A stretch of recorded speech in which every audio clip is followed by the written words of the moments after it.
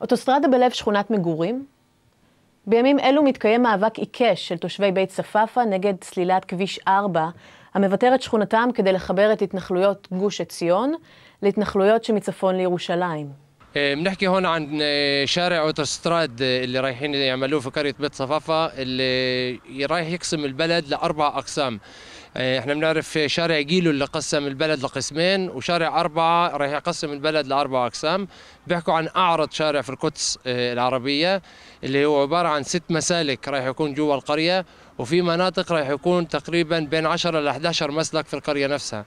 הכביש הזה יחצה כאן את הקהילה, יש 200 משפחות שפתאום לא יוכלו להגיע לשכנים שלהם, למכולת, למסגד, לבית קברות.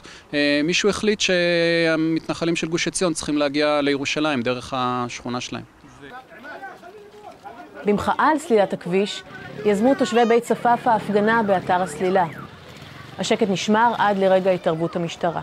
הפגנה שקטה שמטרתה למחום, לזעוק את זעקת בית צפאפא, והחלטנו לאות מחאה לעצור את העבודה, זו החלטה שלי, אני עליתי על הבאגרים, התושבים עמדו כאן בחוץ וצפו באופן שקט, לא אלים, פתאום נכנסו אנשים לא מזוהים לתוך ההפגנה, חמישה-שש אנשים, ותקפו כמה צעירים, הפילו אותם על הרצפה בצורה ברוטלית, התנהגות אלימה של המשטרה, שבדיעבד התברר שאלה שוטרים סמויים.